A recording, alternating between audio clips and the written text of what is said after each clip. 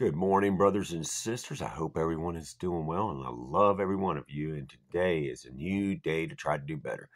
So we're going to just read a little something so I can drop something with y'all. I'm been a little busy, so um, but I just want to give y'all a little something. So uh, we're going to read out of Psalm chapter 58. So this is about a cry against injustice. Let's see what this is about. Let's read. Do you really speak righteously, you mighty ones? Do you judge people fairly? No, you practice injustice in your hearts with your hands. You weigh out violence in the land. The wicked go astray from the womb. Liars wander about from birth. They have venom like the venom of a snake like the deaf cobra that stops up its ears, that does not listen to the sound of the charmers who skillfully weave spells. God knock the teeth out of their mouths.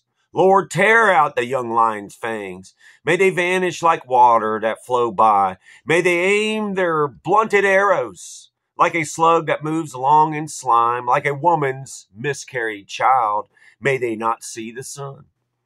Before your pots can feel the heat of the thorns, whether green or burning, he will sweep them away. The righteous one will rejoice when he sees the retribution.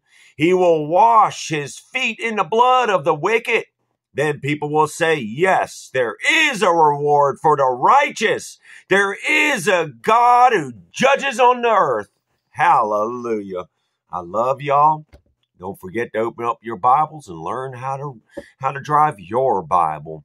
And um, hopefully, God willing, I will see you soon. I love every one of y'all, and may God bless every one of y'all's paths. And don't forget to shine your light.